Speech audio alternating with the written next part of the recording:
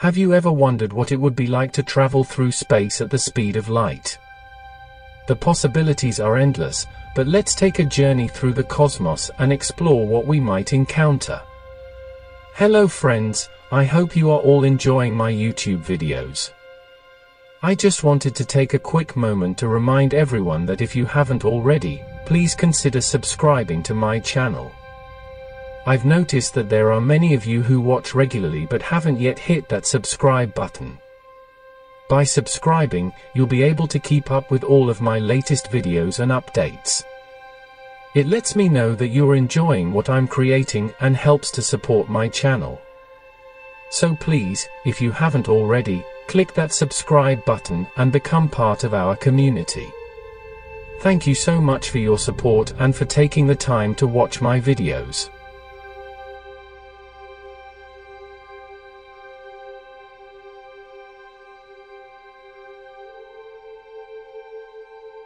First, let's travel to our nearest celestial neighbor, the Moon. If we could accelerate to the speed of light instantly, it would only take us about 1.3 seconds to reach the Moon. Can you imagine witnessing the Moon's craters and surface features in mere seconds? Next, let's head to the center of our solar system, the Sun. At the speed of light, it would take us 8.3 minutes to reach the Sun. As we approach, we would witness the Sun's fiery surface and massive coronal ejections that make up its atmosphere. Now let's continue our journey to other planets in our solar system. Mercury. The first planet we'll reach is Mercury, the closest planet to the Sun. In just 4.5 minutes, we'll witness its barren and rocky surface up close. Venus. After Mercury, we'll travel to Venus, where it will take us approximately 6.2 minutes to reach.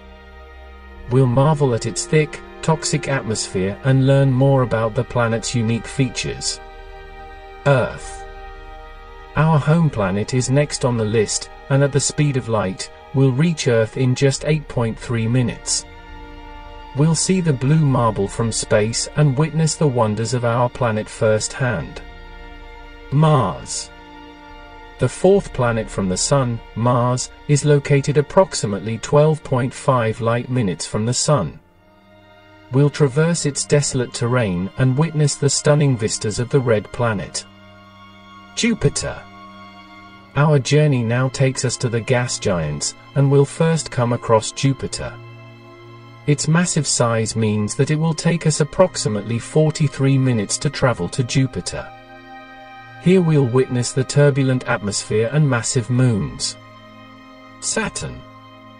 The stunning ringed planet, Saturn, is next on our journey. We'll travel approximately 1 hour and 23 minutes to reach Saturn, where we'll witness its magnificent rings and more moons. Uranus. The seventh planet from the Sun, Uranus, is approximately 2 hours and 45 minutes away. Here we'll witness its unique blue-green color and its numerous moons. Neptune. Our journey finally takes us to Neptune, which is located approximately 4 hours and 24 minutes away from the Sun. We'll witness its deep blue color and the great storms that rage on its surface. Once we've explored Neptune, we've reached the final planet in our solar system. Beyond Neptune lies the Kuiper Belt, a vast region of icy objects left over from the formation of the solar system. At the speed of light, it would take us about 5 hours to cross the Kuiper Belt. If we were to continue our journey beyond the Kuiper Belt, we would pass by dwarf planets such as Pluto, Eris. It would take us approximately 5.5 hours to reach Pluto, the largest object in the Kuiper Belt. Once we have traversed the Kuiper Belt, we would head into the vast region of space known as the scattered disk, which contains countless comets and other icy bodies that were ejected from the solar system's early history. The scattered disk extends from about 30 to 100 astronomical units from the Sun, with some scattered objects reaching up to 200 astronomical units.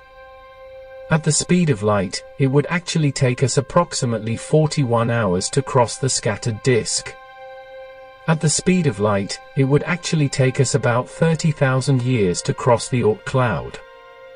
So, the time needed to travel from the scattered disk to the Oort cloud would also be approximately 30,000 years. Interstellar gas and dust. After leaving the Oort cloud, we would travel through the interstellar medium, which consists of gas and dust particles. This region of space is not completely empty, although the density of particles is much lower than within our own solar system. Proxima Centauri This is the closest star to our solar system, located about 4.24 light-years away. If we were traveling at the speed of light, it would take us 4.24 years to reach Proxima Centauri.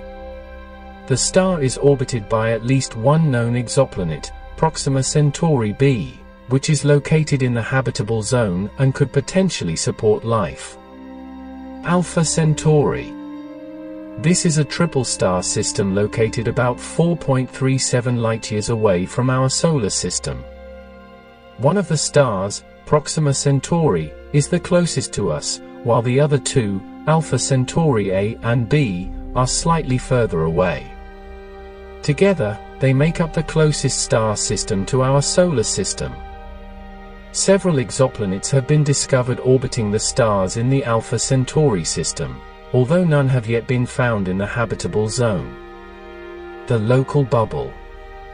This is a relatively empty region of space surrounding our Sun, which was created by recent supernova explosions. It is believed to be about 300 light-years in size and is filled with hot, tenuous gas.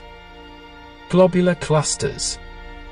These are dense clusters of stars that are found in the halos of galaxies. They contain hundreds of thousands of stars, all gravitationally bound together, and are thought to be some of the oldest structures in the universe.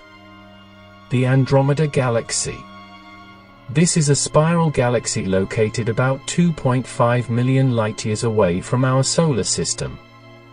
It is the closest galaxy to us and is visible to the naked eye from Earth on a clear night. The Andromeda Galaxy is about twice the size of the Milky Way and is home to over a trillion stars. The cosmic microwave background radiation. A few seconds to a few minutes to cross the cosmic microwave background radiation. This is a pervasive background radiation that permeates the entire universe and is thought to be a remnant of the Big Bang. It was first discovered in 1964, and has since been studied extensively as a means of understanding the structure and origins of the universe. Black holes. These are extremely dense regions of spacetime that are defined by their strong gravitational pull. They are thought to be formed by the collapse of massive stars, and can have masses that are millions or even billions of times greater than that of our Sun. Despite their terrifying reputation, black holes are essential to our understanding of the universe, and have been key in revealing previously unknown properties of space and time. Zero time to cross a black hole, although due to its strong gravity, it would cause time dilation and distortions of spacetime. The edge of the observable universe, this is the furthest point in space towards which we can observe. Light from further away has not yet reached us, and may never do so due to the expansion of the universe and the limitations of our technology.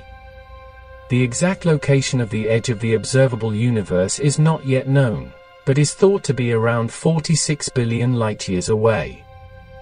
Since the edge of the observable universe is always moving further away due to the expansion of the universe, it's tricky to give an exact time estimate.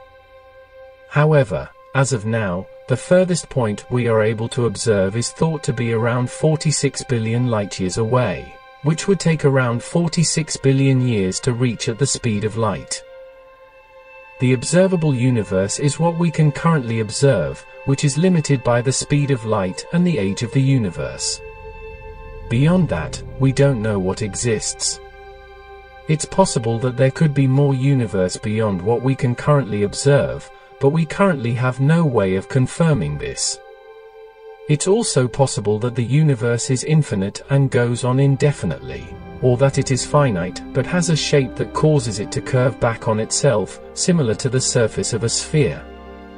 Again, we currently have no way of knowing for sure what lies beyond the observable universe. Thank you for joining us on this incredible voyage. And as we navigate our way through life, let's keep reaching for the stars, both figuratively and literally.